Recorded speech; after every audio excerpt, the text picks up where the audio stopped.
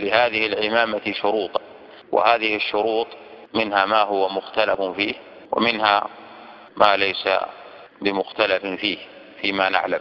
يشترط في المسح على العمامة أن تلبس على طهارة وذلك قياسا على المسح على الخفين. ولكن الصواب كما هو الرأي الآخر لا يشترط في العمامة أن تلبس على طهارة وذلك لعدم الدليل. قد فعل عليه الصلاة والسلام المسح وأمر به ولم يأتي دليل صريح صحيح في اشتراط ذلك.